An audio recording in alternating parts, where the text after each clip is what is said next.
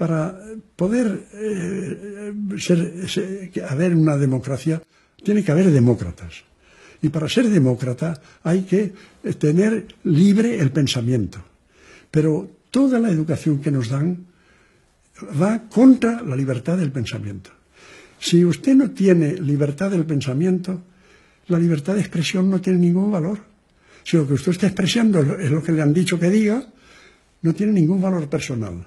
No, deberían educarnos para pensar por nuestra cuenta y para razonar por nuestra cuenta y arriesgarnos por nuestra cuenta y ser cada cual quien es. Yo cuando he hablado con estos eh, eh, jóvenes, y no tan jóvenes porque hay de todo, del 15 siempre les digo, reeducaros y además reeducar a la gente. Pero estamos educados para no tener independencia y para ser sumisos y para ser buenos borregos. Demuestra que la democracia no funciona. Si mandase el pueblo, eso no pasaría. Pero como eh, mandan los amigos del que está ahí, pues, pues pasa. Hombre, pero el pueblo vota, ¿no?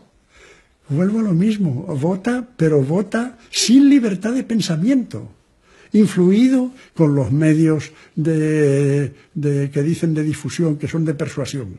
Los medios de persuasión, ¿verdad? La televisión, los, los periódicos, que están todos en manos de los que mandan y como están en manos de las que mandan, informan de lo que les conviene, informan de lo que quieren y de lo que no quieren no informan. Yo también debo estar en manos de los que mandan. Pues claro, y yo también. Pero yo me refugio en este rincón, escribo mis, mis palabras que tal, y cuando me invitan a venderme y vienen a comprarme, exactamente igual que usted, ¿verdad? Digo que no.